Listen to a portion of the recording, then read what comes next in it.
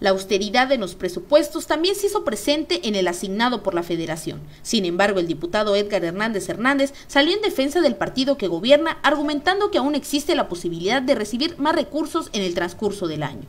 Se esperaba que con el regreso del PRI la situación para Campeche fuera distinta. No obstante, la historia se repite. Los recursos bajados de la federación no resultan suficientes para atender los problemas que existen en la entidad.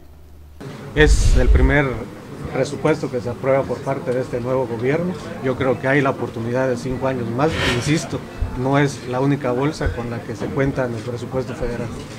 El presidente de la Junta de Gobierno y Administración del Congreso del Estado espera que con gestiones de los diputados federales se logre la obtención de un mayor recurso para Campeche. Con imágenes de Jorge González para Tiempos Noticias, Verónica Astorga,